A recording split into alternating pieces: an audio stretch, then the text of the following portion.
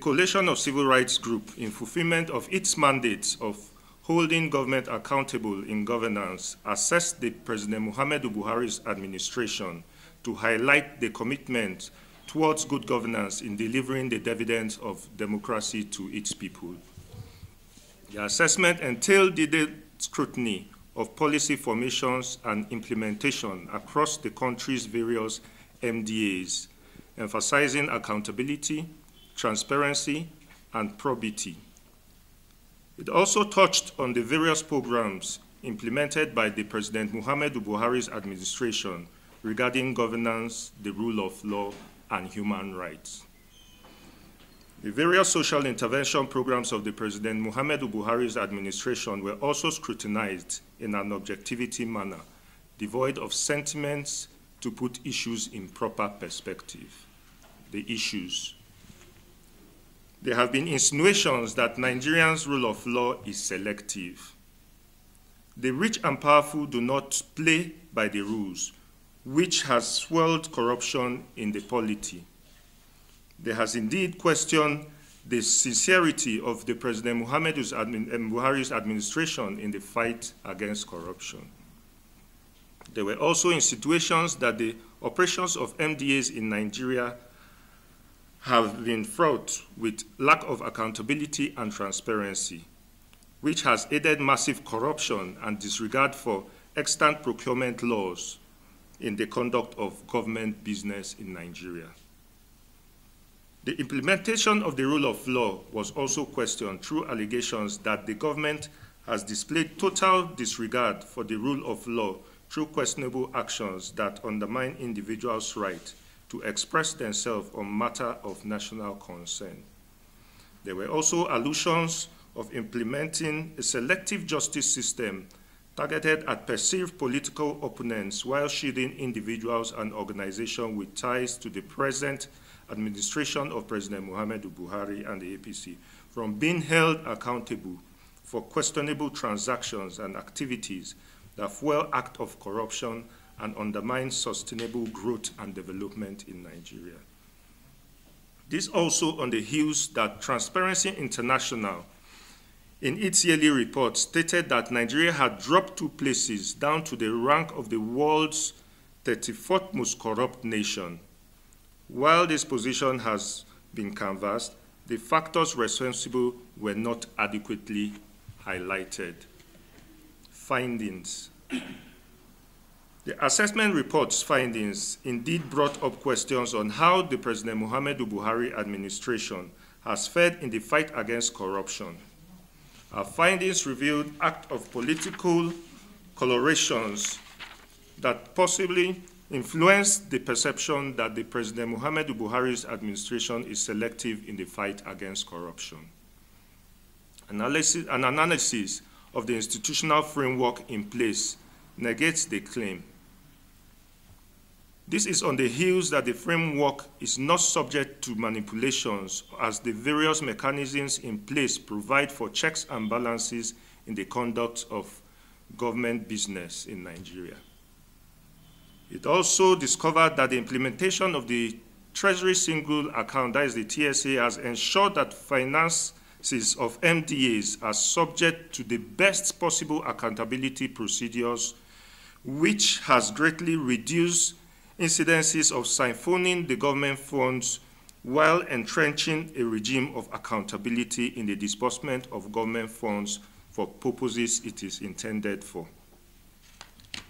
The Personnel and Payroll Information System, that's the IPPIS, was also identified as one of the measures implemented by President Muhammadu Buhari administration in tackling corruption in the system by blocking loopholes that hereto cost the country billions of dollars.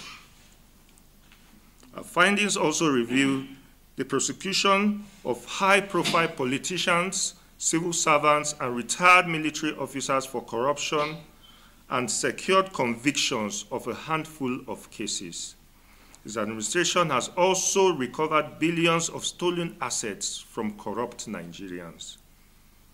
Scores of corrupt politicians across party lines and government officials are currently undergoing trials for various forms of financial impropriety, thereby rating the President Muhammadu Buhari's campaign against corruption as the most intense the country has ever seen in its history.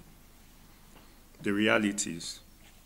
The coalition of civil society groups in the extensive analysis of the issues at stake states that what is being propagated in the public space is different from reality. The various indices indicate sustainable efforts towards building strong institutions capable of addressing corruptions and other forms of societal ills that retard development in our great country. As discovered in the analysis of issues, there are political undertones to rating Muhammadus Buhari, in rating Buhari's uh, administration as low in the war against corruption. This is hinged on permutations towards causing distractions of his administration. The coalition of civil rights groups position, the coalition of civil society groups position is that there has been an entrenchment of accountability and transparency in the conduct of government business. The loopholes for siphoning government resources have been blocked. This has also brought about accountability, which remains the hallmark of the President Muhammadu Buhari's administration. It must also be stated that there hasn't been any tangible evidence that support the claim of selective implementation of the war against corruption from our analysis. The bulk of the insinuations are hinged on hearsay and illogical conclusions, which remain questionable to all known parameters.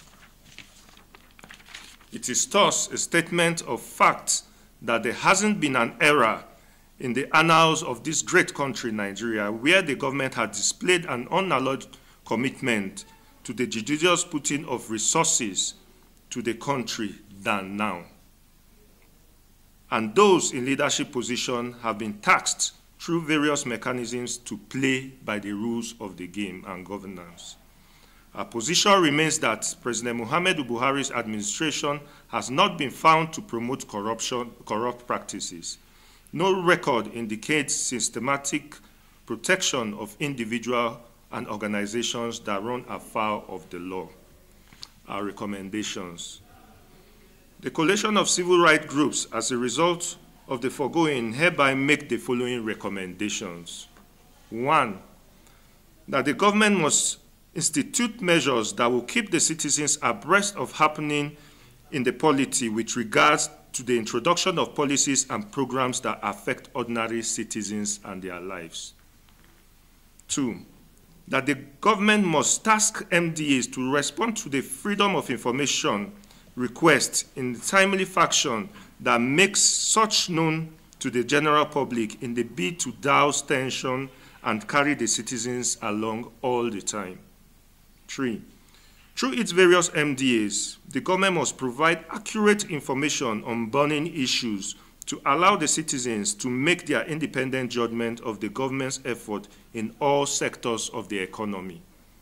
Four, that the government must engage in town hall meetings with critical stakeholders to allow them to seek clarification on areas that require attention and collective input by the people.